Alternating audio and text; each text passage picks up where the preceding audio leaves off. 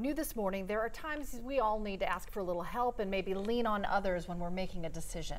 And so this morning, one Sandy Springs father and son team, they want to ensure those with disabilities get a voice in that process. Liza Lucas brings us more of the family's mission. From the time he was a little child, we were told he's not going to walk, he's not going to speak.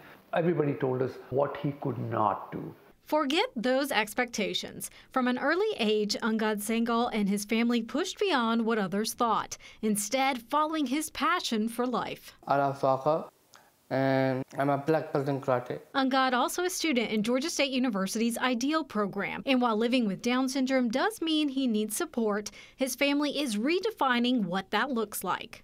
All of us in some form or shape need help in making a decision. So, but when it comes to people with disabilities, we try to make it into this big thing. The Let Me Do It app changes that idea, a nod to Angad's favorite phrase from childhood. With a customizable design tree, the technology helps users break down tasks and decisions into simple steps or reminders, offering support without the need for a physical person to be constantly standing by. Technology has helped so many in us in so many ways.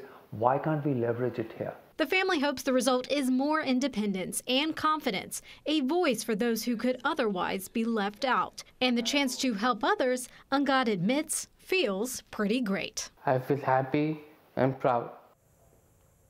Now, right now, this app is in the pilot phase, and that'll give groups the opportunity to add input on different ways the technology can be customized and used for different needs. The hope is to roll it out officially in November so many ways technology is mm. changing lives. I, it, I mean, right? that independence is just such a huge phase of development. So for everybody to be able to get a piece of it is awesome. And now share it. The success they've seen in their household now make an impact for everyone. That's right. And they're going to keep pushing it and rolling out and hopefully reaching different groups. Great.